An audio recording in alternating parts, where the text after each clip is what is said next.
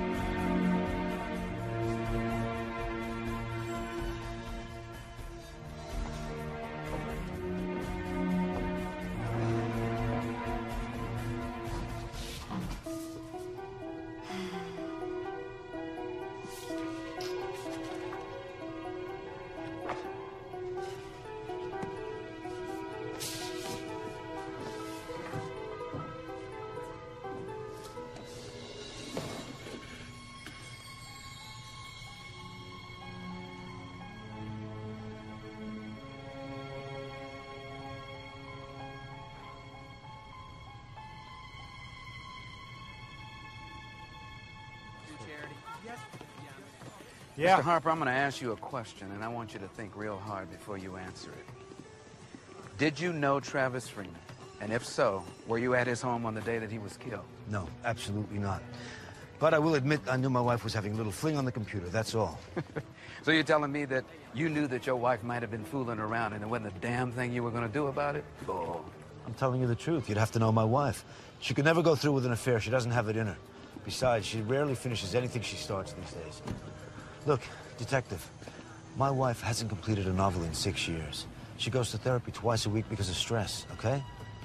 So you're telling me that you were never really threatened by the idea that the little miss might have been fooling around? Exactly.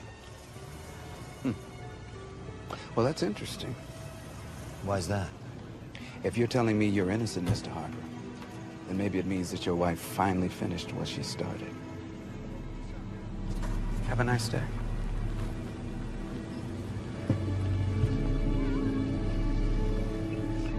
You really think her husband's dumb enough to blow everything over an online affair? Well, why not? She was ready to. I'm just not convinced that she's a murderer. She's definitely hiding something. Yeah, well, maybe, but still doesn't make her a killer. I mean, when you think about it, Mag, what motive does she really have to kill Freeman? I don't know, Rex. Hey, you think there's some connection between Freeman's murder and his wife's suicide? Stop. Now, listen to me. Stop, Mag. Listen, we've got a murder and a suspect with a real motive. What the hell do we care about a five-year-old suicide? Call me crazy, but I think it's just too much of a coincidence. What coincidence, Mag? Look, we got a wife who kills herself, and then five years later, the husband gets whacked. I don't see coincidence. I tell you what I see. I see senseless tragedy. That's it. By the way, got some new information on Jean Harper. Oh. it seems Our Lady is seeing a psychiatrist twice a week for stress. Shopping can be very taxing. Why don't we pay the doctor a visit, see what information we can find out about the Harpers? Let's go.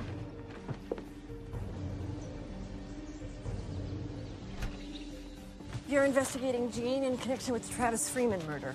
That's correct. You know, of course, that I can't discuss our sessions with you. Of course. But as you noted, we are investigating a murder, so any information you can give us would be much appreciated. There isn't much to tell, really.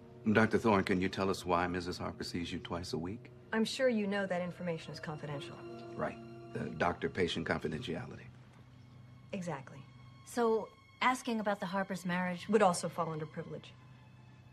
I could lose my license by answering that question. Yeah, but uh, Mr. Harper isn't a patient of yours, is he? Well, if you're asking my opinion as to whether or not Chase Harper could have killed Travis Freeman, I'd have to examine Mr. Harper. Otherwise, I'll reserve judgment. Does Mrs. Harper fight with her husband a lot? All couples fight, Detective. Look, if you have any specific questions you want to ask me, feel free to try to subpoena my files, but to sit here and offer conjecture is ludicrous.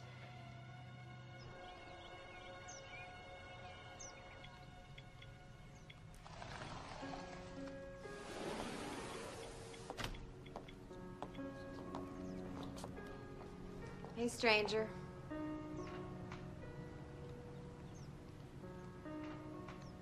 Got a minute?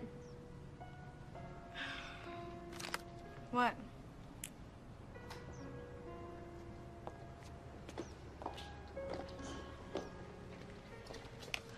Okay, look, I don't know what your father told you, but I want you to know the truth. I get the gist of it. You're bored as hell with us. I'm not bored with you. I was bored with me. I just. I let my life slip away from me, pure and simple. It's called a midlife crisis, Mom. Lots of people have them, and most of them manage to get through it without having an affair. I was lonely. Look, you're grown. You don't need me. Your father, he's never around. He doesn't need me. And I met this man over the internet, and we just started exchanging emails with each Okay, other. Mom, I really don't think I want to hear this. He was going through a rough time. I was going through a rough time, and it just made our lives more interesting.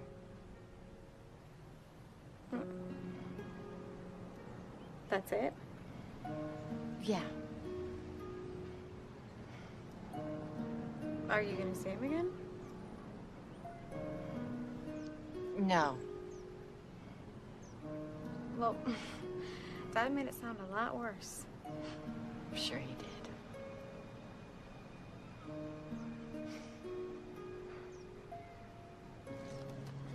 I'm sorry.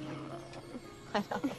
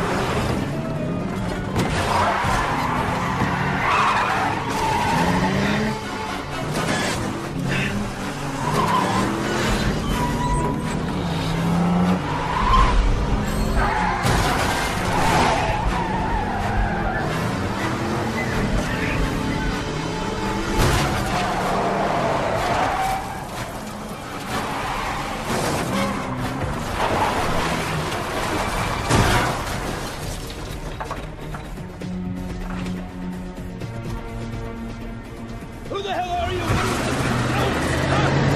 What the hell, what the hell are you doing?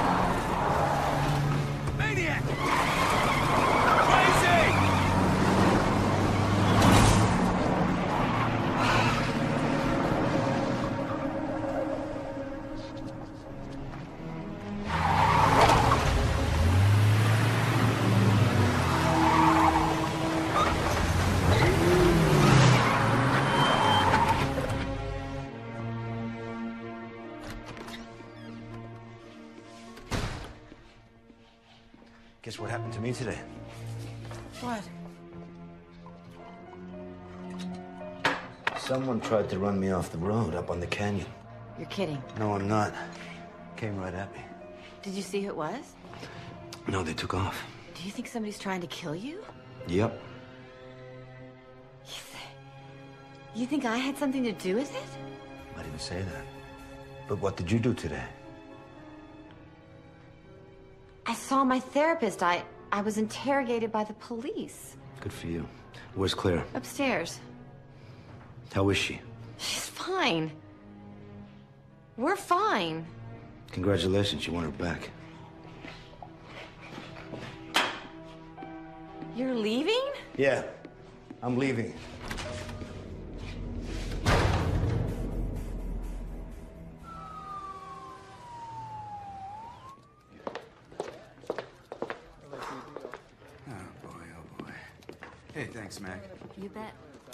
Guess what? Somebody tried to off Chase Harper. You're kidding. Nope. Any idea who? Oh, not yet. But I have a feeling the man's gonna be looking at his wife a little different tonight. You think he's trying to throw us off? Well, the thought had occurred to me.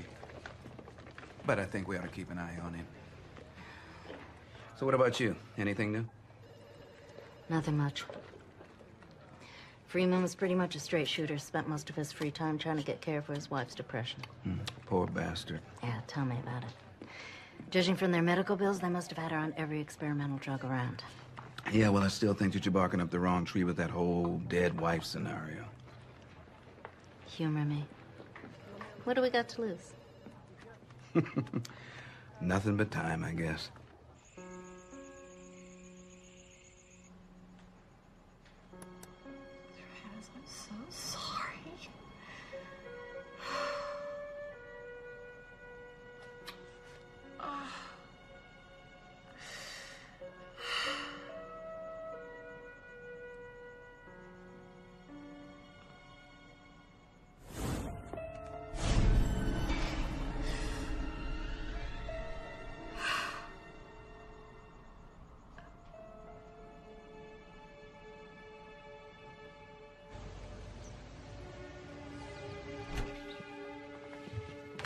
Thank you for agreeing to see me again, Dr. Thorne. Of course. So, what would you like to ask me? What can you tell me about depression? Depression is a terrible disease that strikes 16% of the population. Mostly women. More than half. But I don't think I would categorize Jean Harper as depressed. Did she ever talk to you about her relationship with Travis Freeman? You know I can't answer that. Let me ask you a more general question. In your professional opinion, how depressed would someone have to be to commit suicide? You think Mr. Freeman committed suicide? No. His wife committed suicide several years ago. Oh, wow. So how about it? Just how depressed would someone have to be to kill themselves? I think to make a conclusion about someone without all the facts is always a mistake. I fully agree.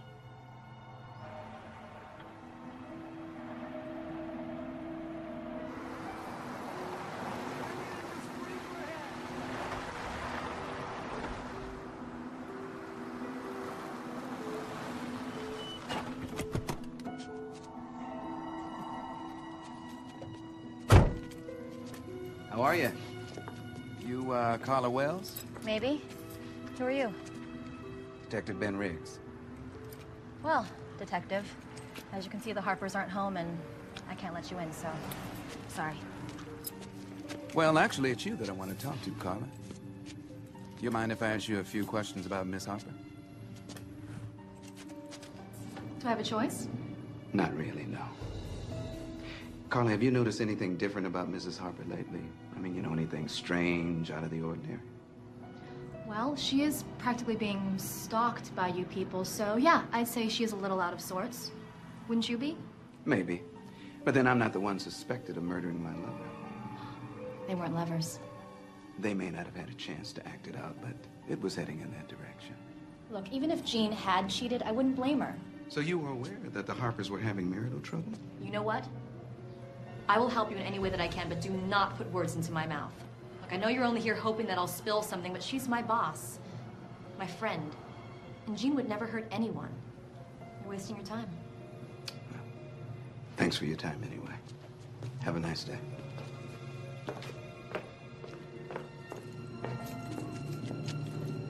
So I take it the police are still hounding you? There's something else. Somebody tried to kill Chase. What? Ran him off the road. Oh my god, is he all right? He's fine. He's pissed. But you know what? He thinks I had something to do with it. You can't be serious. I'm serious. I mean, he's a jerk, but I would never do anything to harm him. You mean besides having an affair? I didn't have an affair. I'm just trying to be objective, Jean. I, I, I don't know how much more this can take. I, I just want all of this to end. Have you confided in any of your friends about this situation? Just Holly. You know what? We've become convinced that this all may have something to do with the death of Travis Freeman's late wife. It's just a conspiracy theory. But we've been chained to our computers day and night doing research. Jean, I just don't think it's a good idea for you to become obsessed with some kind of conspiracy theory right now. You're right. You're always my voice of reason.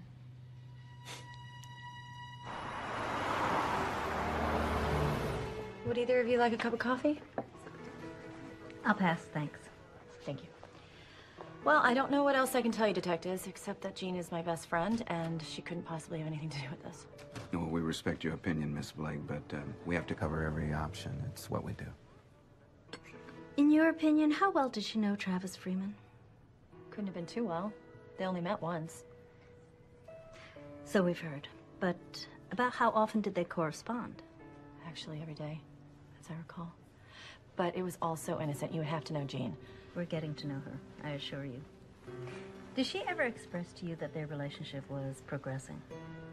Well, she liked Travis. A lot. But I think she was more in love with being in love, you know? Yeah, I do. Look, I assure you, she loves Chase. I know she does. And, uh, he loves her too. People stray, and uh, sometimes it takes a wake up call to rein them back in. So you think that the murder of Travis Freeman was that wake-up call? I didn't say that.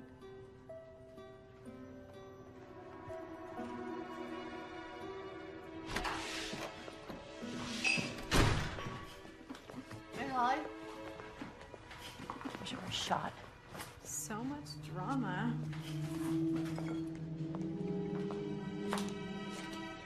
What's wrong? Those detectives came to see me again today. What do they want this time? They wanted to know the extent of your relationship with Travis. And they want to know how things are going with Chase. What'd you say? I told them the truth, Jean. Look, whatever those detectives are thinking, we're not hiding anything. I'm sorry. I never should have involved you in this. Look, we are knee deep in this together. Okay? I'm gonna go back to the office and log in some more research time, okay? I'm gonna come with you. No, no, you just stay here. Act like everything's normal. Act the way we always do. Just be the same. Oh, well, well, well. Looks like a party. Hey. Hello, Holly. Hello, Chase. What are you ladies up to? Oh, just chatting. You don't have to kick me out. I'm just leaving. Well, don't break up the party on my account. I'll come by tomorrow. Oh. I love you. Okay. You know what they say about bullies? They're really cowards underneath.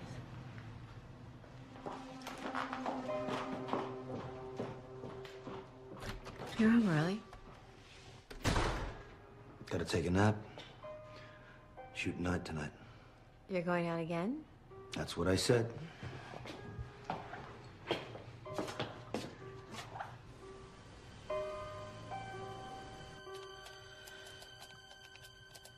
right, Amanda. What are you hiding?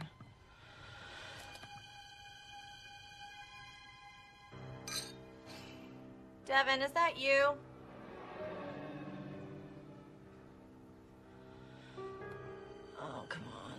Something better than that.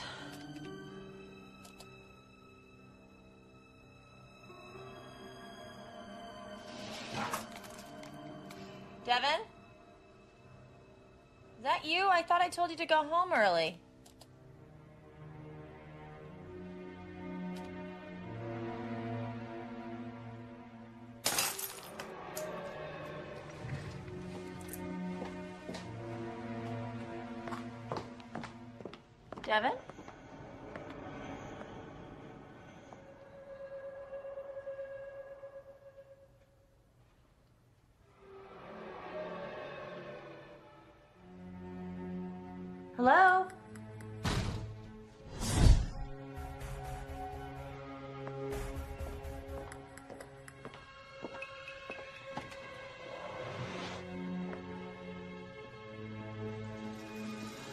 Anybody there?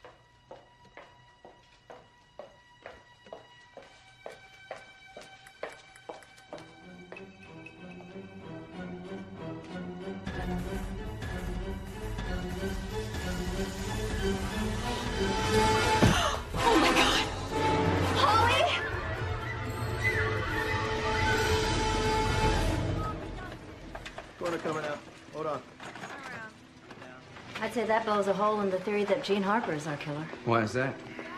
Oh, come on. Holly Blake is her closest friend. Trying to kill her husband? I can see that. Travis Freeman? I can even wrap my head around that. But Miss Blake, Jean Harper's not a sociopath. How do we know that? By all accounts, Holly wanted to find Freeman's murderer just as bad as she did. Maybe she got too close. Sorry, I don't buy that.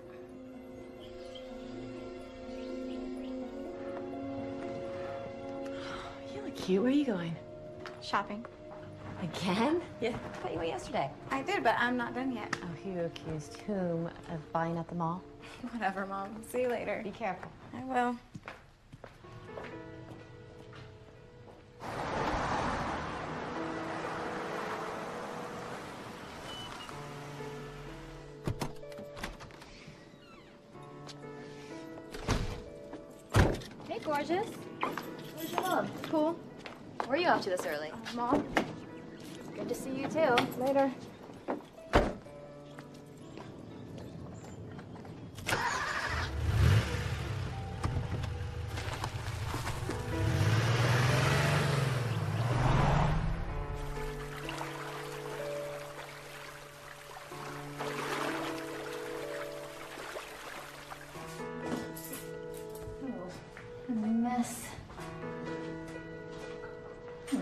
Great place for this. Someone's gonna hurt himself.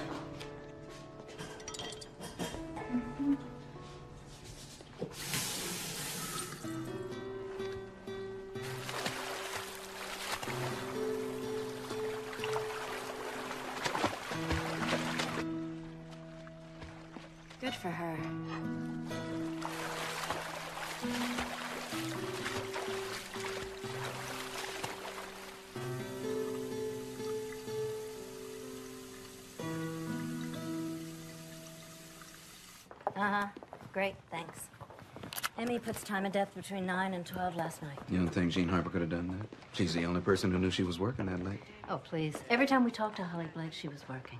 Anybody could have figured out where she'd be. So how'd they get in the building? She didn't work for the Pentagon. Which brings us back to Chase or some other idea we haven't thought about. But here's the question. You think somebody's doing it for her? Or is Jean Harper going to be our next victim? Let's go over and talk to her. See what she's got to say. If she's not our perp, somebody's really got it in for Harper.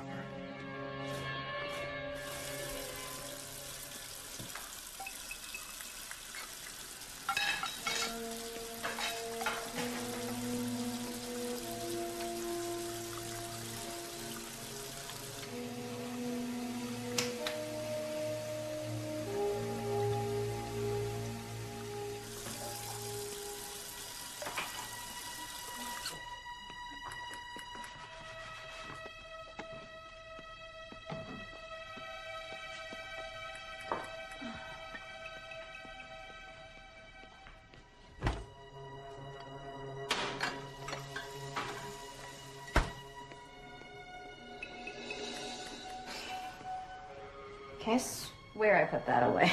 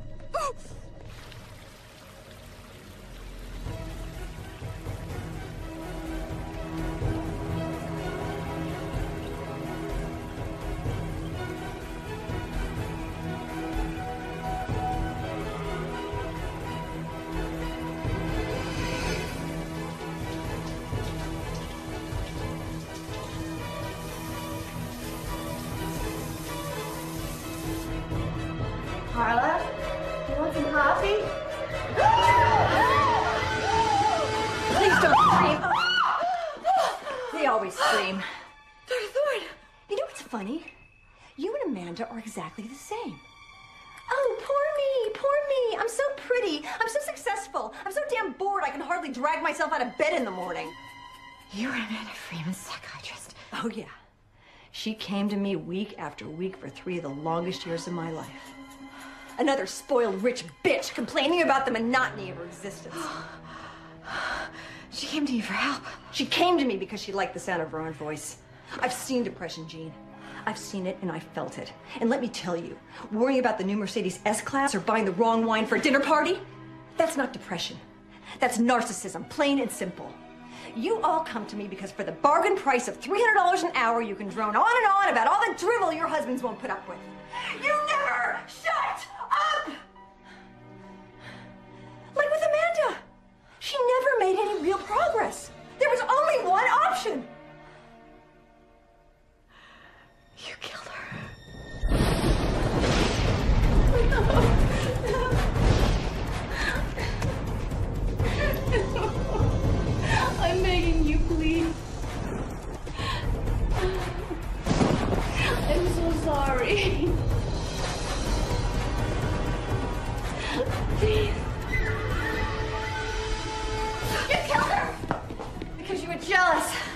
Excuse me, Jean. I am not jealous of you.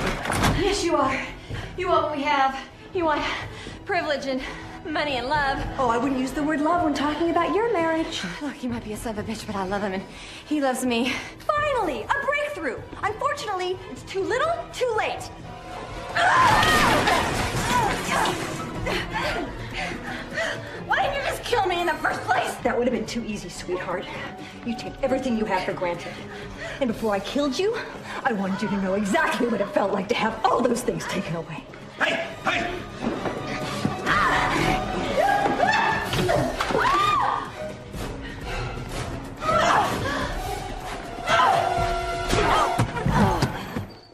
Crazy bitch.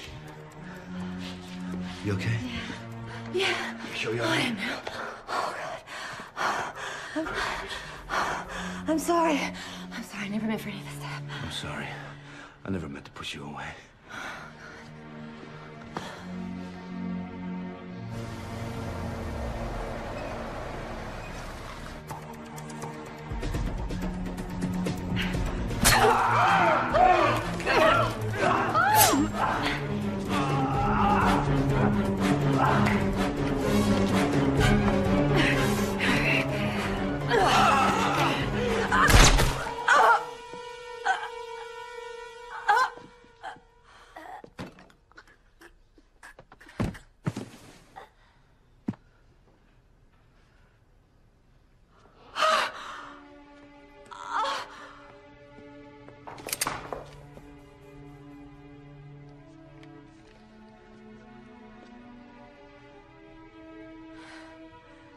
Can somebody tell me what the hell is going on here?